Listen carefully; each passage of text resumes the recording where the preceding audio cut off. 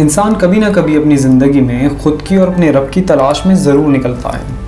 लेकिन सालों का सफ़र तय करने के बाद वो सोचता है कि न जाने क्यों उसको वो मंजिलें हासिल ना हो सकें जिसकी उसे तलाश थी।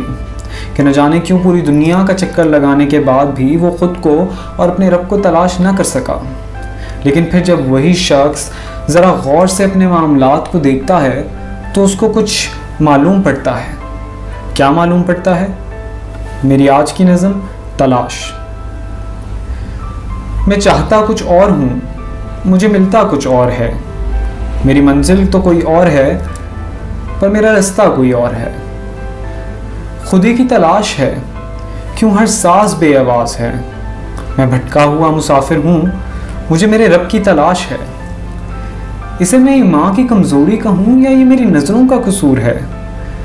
फिर क्यों मुझे वो दिखता नहीं, जबकि कल्ब इंसान में तो मौजूद है? ज़रा सोचा ज़रा सोचा तो यूँ महसूस हुआ मुझे कि दरअसल हकीकत तो कुछ यूँ है। मैं झुकता कहीं और हूँ, पर मेरा सजदा तो कहीं और है। इसलिए मैं चाहता कुछ और हूँ, मुझे मिलता कुछ और है।